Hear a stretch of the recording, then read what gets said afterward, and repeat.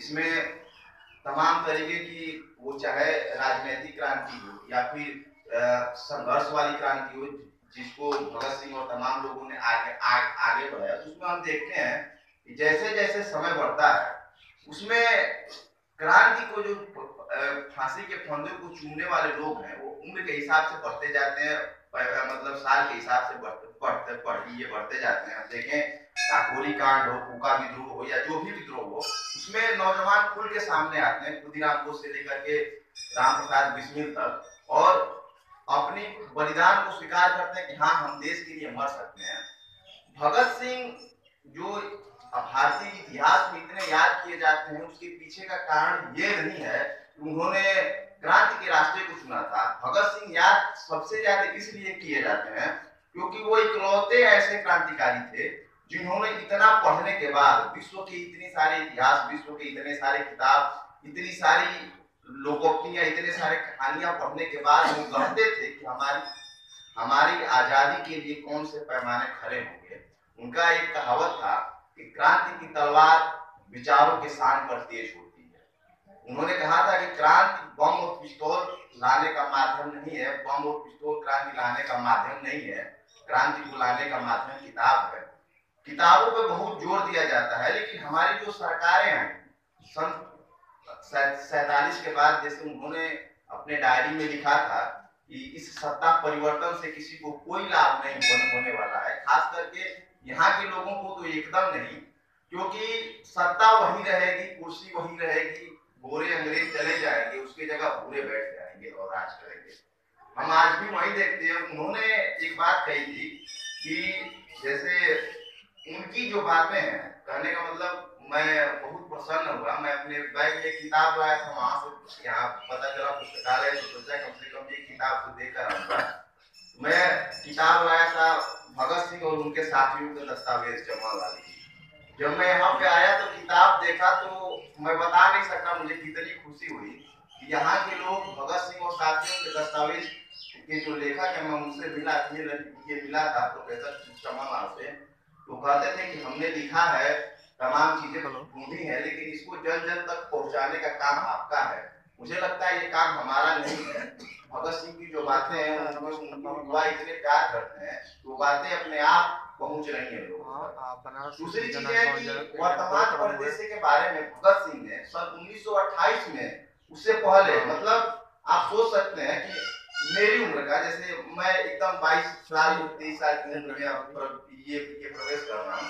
मेरी उम्र का लड़का जब मैं इनकी बातों को पढ़ रहा हूँ वो इस समाज को गढ़ने के जो पाप होते हैं वो देखते हैं वो अपने लेखों में लिखते हैं। जैसे उनका कीर्ति में एक लेख छपा था। कीर्ति का जो लेख था कि विद्यार्थी राजनीति क्यों न करे? राजनीति करे कि न करे? विद्यार्थी और राजनीति। उन्होंने कहा था सन 1928 में आज एक बात का बड़ा शोर सुना जा रहा है कि छात्र को राजनीति नहीं करनी चाहिए और पंजाब की सरकार है, छात्रों की मटिया पलित करने में लग चुकी है। वो हमें बताते हैं कि छात्रों को राजनीति नहीं करनी चाहिए, बल्कि हमारे एडमिशन के समय वो हमसे एफिडेविट साइन कराते हैं। ये बात भगत सिंह सन उन्नीस में करते हैं। एफिडेविट साइन कराते हैं कि तुम देश के किसी हितकार विभाग नहीं ले सकते हो। और कहते हैं कि क्या विद्यार्थी का काम सिर्फ़ पढ़ना है? मैं मानता हूँ तहे दिल से मानता हूँ कि एक विद्यार्थी का काम पूर्णतया पढ़ना है लेकिन क्या उसका ये कर्तव्य नहीं है इस इस, इस देश के प्रति वो देश में होने वाली राजनीतिक घटनाओं अपने विचार अपने और भी तमाम चीज़ों को घटनाओं से जोड़कर समाज में रखे उन्हें बताए कि क्या है और जब जब जब ज़रूरत पड़े वो देश जब भी ज़रूरत पड़े वो देश की सेवा से, सेवा के लिए तत्पर हो। और भी चीज़ें हैं कभी कभी बहुत तकलीफ़ होती है ऐसे ऐसे नेता कहते हैं कि मेरे आइडियल भगत सिंह है।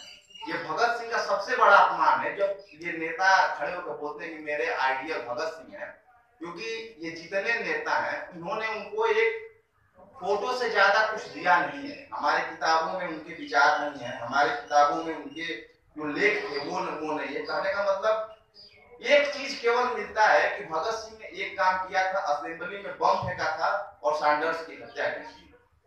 और इसी पे भगत सिंह की जो पूरी कहानी है तेईस साल की उम्र की पूरी जो जीवन यात्रा है, उसको खत्म कर दिया जाता है। मतलब कि मूछ के दो बाल और एक पिस्तौल पे उनकी पूरी जीवनी खत्म कर दी जाती है। ये उनके लिए सबसे शर्मनाक की बात है और उससे एक हज़ार गुना हमारे लिए शर्म की बात है ये बातें हैं। कहने का मतलब ये है कि जब उन्होंने सैंडर्स को मारा था उस समय भी एक पत्र लिखा था कि सैंडर्स को मारने का वजह क्या है। उन्होंने लिखा था कि लाला लाजपत राय से तमाम मत विभेद होने के बाद भी हम सैंडर्स को मारे। तो जब उनसे पूछा जाता है कि आपकी जब इतने विभेद थे आज़ादी का रास्ता दूसरा था, आपके लिए दूसरा था तो मारे क्यों? तो बोला कि हमारे अपने घर में, हिंदुस्तान के घरों में बाप और बेटे के विचार बहुत अलग अलग होते हैं। लेकिन जब कोई बाप को हाथ हाथ लगा, लगाता है तो निश्चित है कि खून भड़क उठता है। तो ऐसी ही बातें थी जो उन्होंने कही थी। दूसरी बात, जो ये नेता आज करके जो अपने मंचों से ये कहते हैं कि हम ये करवा देंगे, वो करवा देंगे, सांप्रदायिक दंगे और जात पात करते हैं इस पे चोट करते हुए भगत सिंह ने सन 1927 में एक लेख लिखा था कि छुआछूत और हम मतलब छुआछूत से कैसे बचा जाए।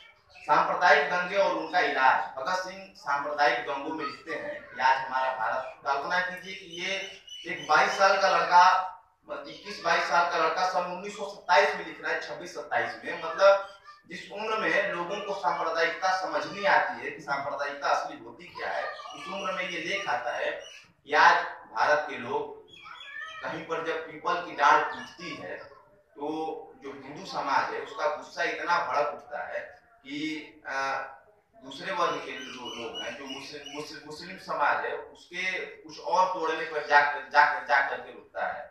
और दूसरी तरफ़ मुस्लिम समाज जो बुद्ध को तोड़ने का काम करते हैं बुद्ध का मतलब मूर्ति मूर्ति पूजा में विश्वास नहीं है इस्लाम का उसी को तर्क देते हुए कहते हैं कि आज ये जब बुद्ध को तोड़ने की बात करते हैं इनका ताजिया निकलता है ताजिया कागज़ का होता है और कोने पे कहीं लड़ के फट जाता है उसके लिए दंगे फसाद होते हैं और हिंदुओं के खून से कम उनको कुछ मंजूर नहीं होता है। ये उस समय कहते हैं कि अगर हम इसे हमें इस भारत को स्वस्थ बनाना है, अगर हमें इस भारत को सांप्रदायिकता से अलग रखनी है, अगर हमें इस देश का बंटवारा नहीं करना है तो देश की राजनीति में धर्म का प्रवेश वर्जित होना चाहिए। धर्म का प्रवेश कहने का मतलब यहाँ पे लोग ये ये ये कहेंगे कि लोग वो नास्तिक बनाने के प्रयोग